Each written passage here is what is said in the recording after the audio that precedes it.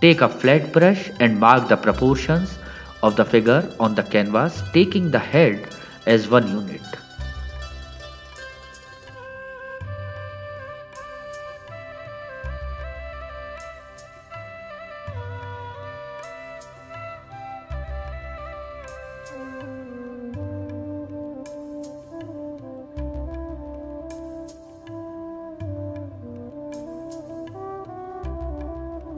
Now with a dark flesh tint, broadly mark the contours of the face, filling in the areas in dark tones, around the eyes, jawline and also the cheek.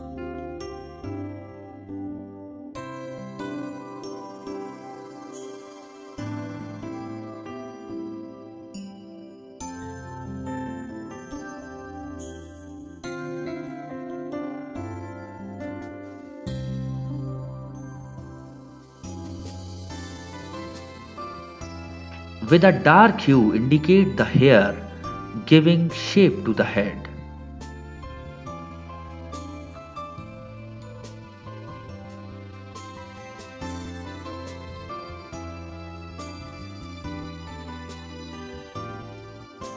With dark flesh tint, color the neck.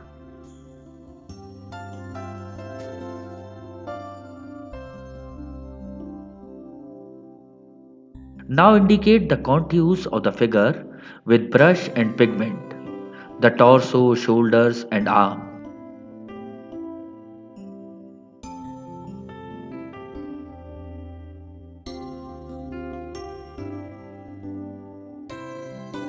Your strokes should be lightly applied and indicative of the figure and also its pose.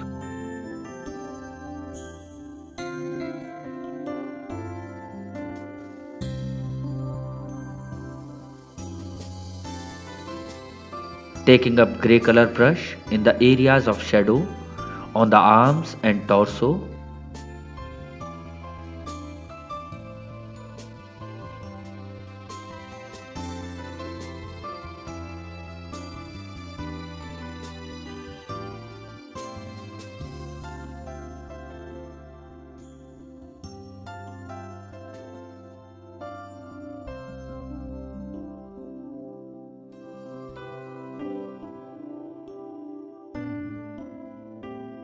Also make the folds in the drapery.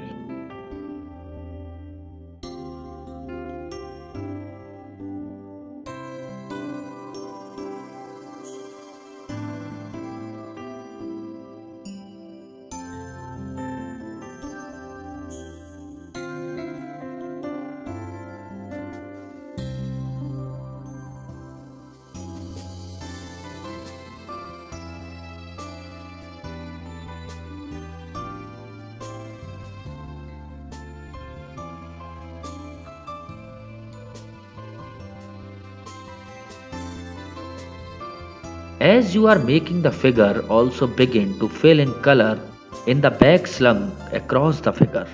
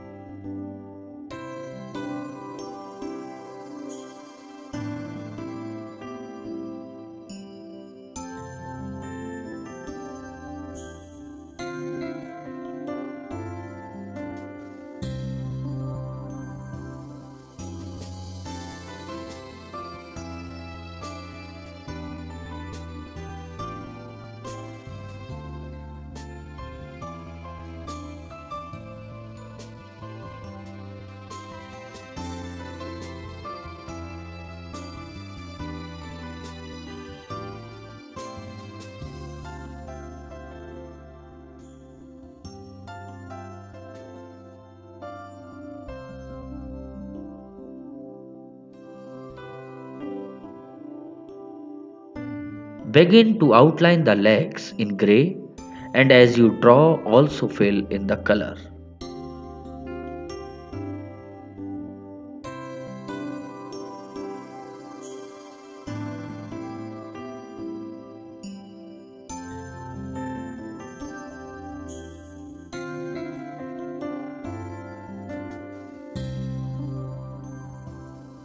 You are basically filling in the middle tone.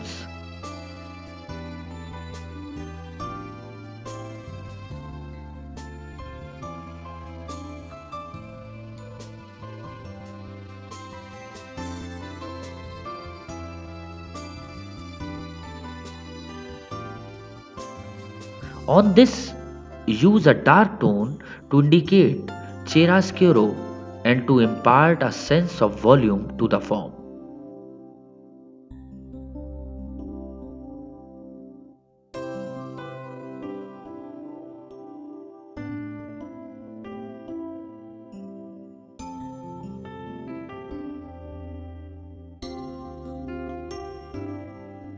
If you notice as the tones are built up, the areas that are sharply lit and in highlight have been left unpainted with the white background showing through.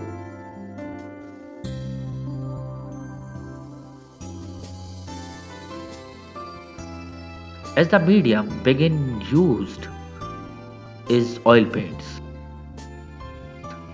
which is a slow drying medium the creation of unpainted white areas in the painting allows to use of light tones without having to wait for a layer of color applied earlier to dry.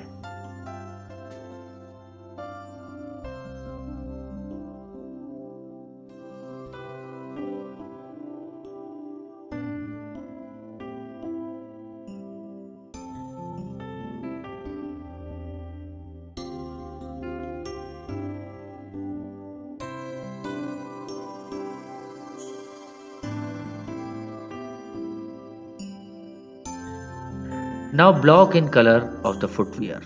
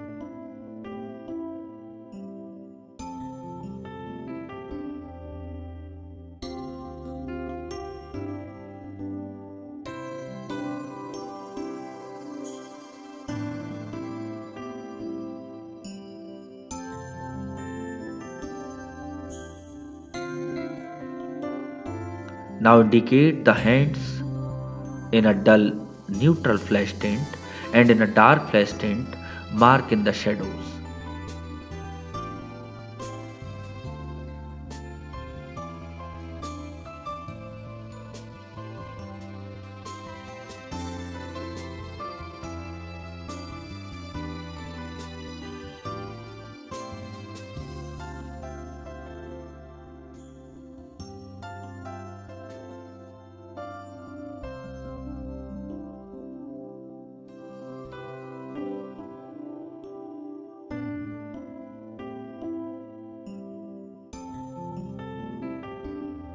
In grey color, indicate the other arm held parallel to the ground. The use of grey establishes the middle tone areas in the painting which with a later use of dark and light tones helps impart volume to the form.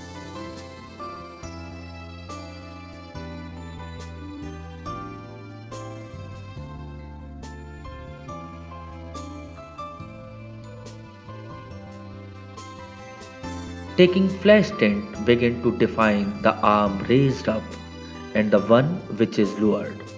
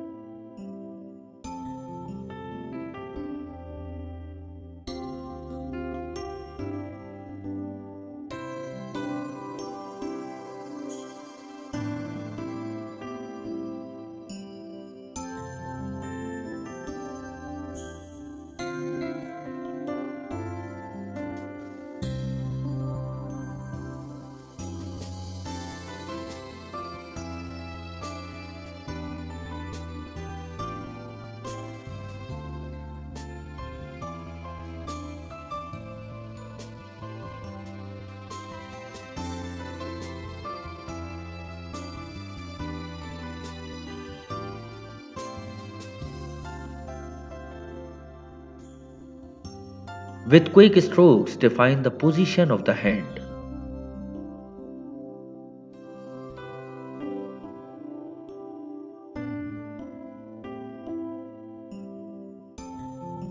Briefly indicate the easel against which the model is leaning.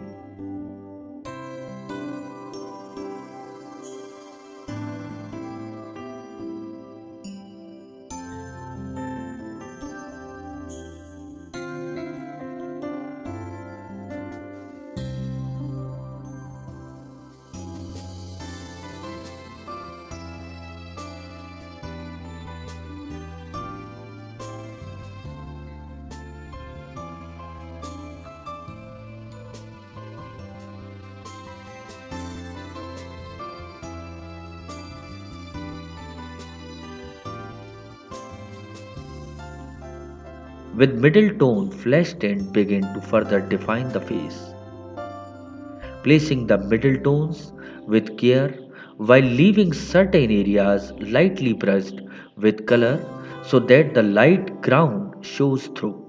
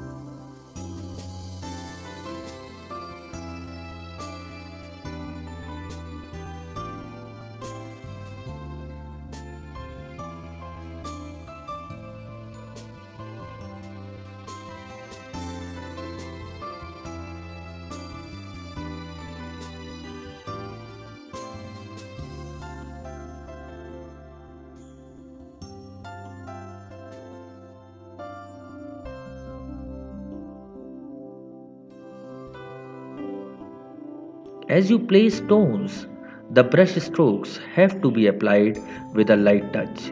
So as you place the color, it does not merge with layer of pigment below.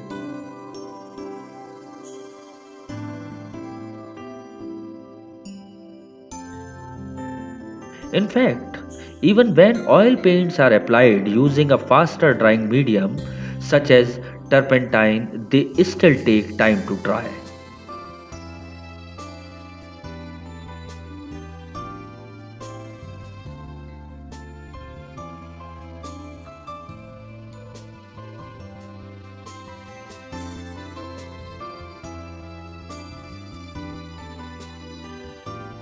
With a light hue, begin to fill color in the area showing the highlighted area.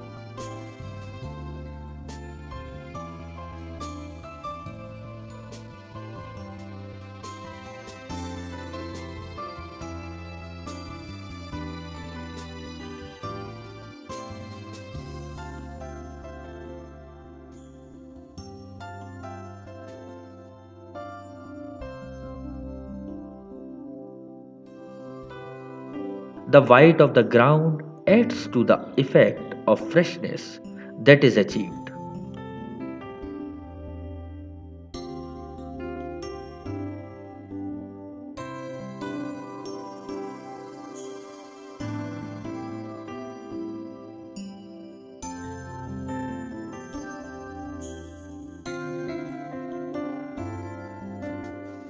The brush strokes have to be deft and well placed lightly so that the color below and the one placed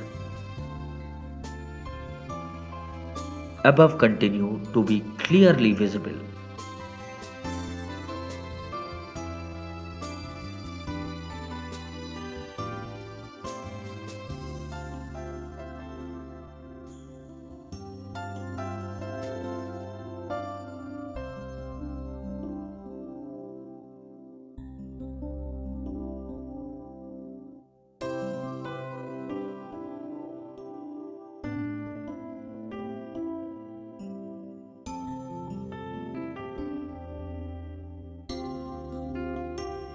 With a few strokes, bring out the shape and pattern of the statue by indicating the details.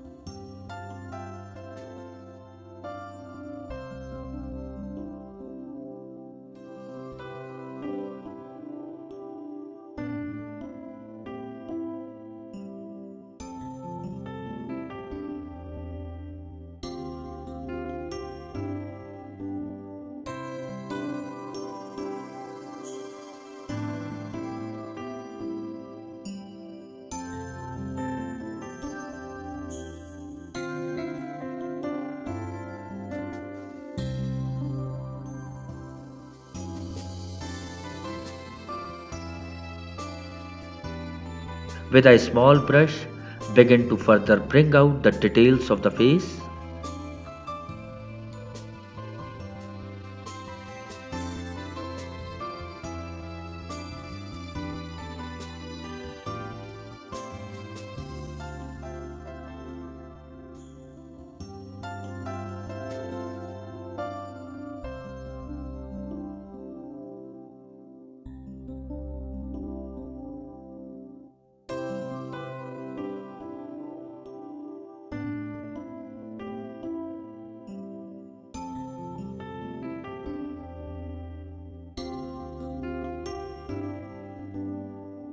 Add touches of a light hue to give greater depth to the face.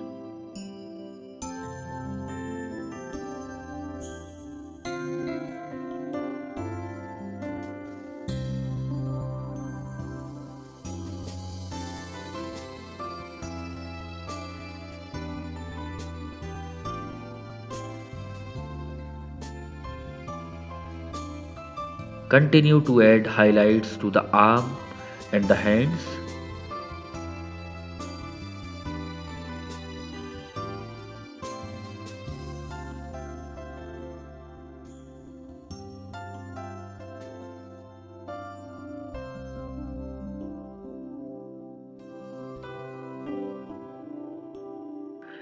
As you paint, make it a habit to stop occasionally Stand back and observe the painting while looking at it and the model you are painting.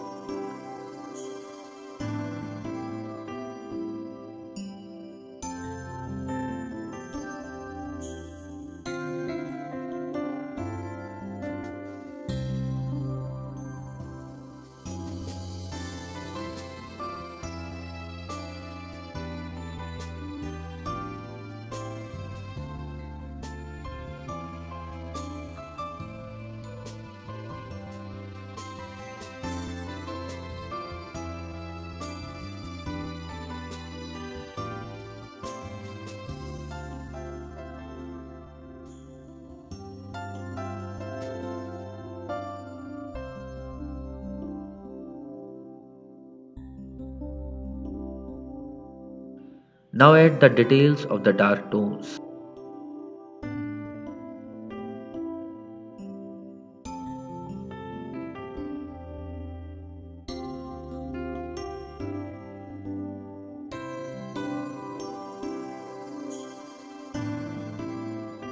Be careful about where you rest your hand as you add the details in the image.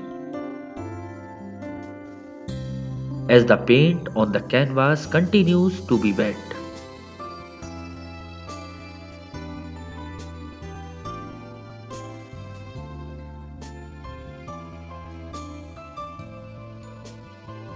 One way can be to place the tip of the wooden handle of the brush against the surface and then resting your hand on it as you paint. This is a good way of ensuring that by any accidental touch you do not alter or damage the still wet surface.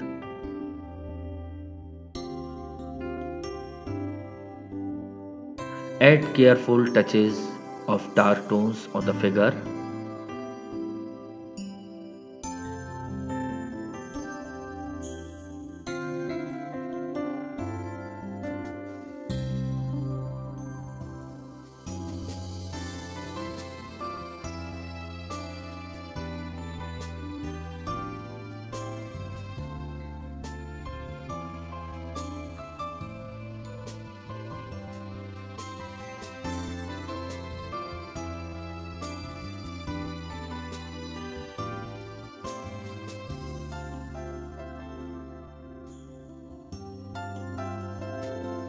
Now begin to fill in the background in a neutral shade so that the figure that had been built in fairly broad strokes using a technique that imparts freshness to the image stands out against it.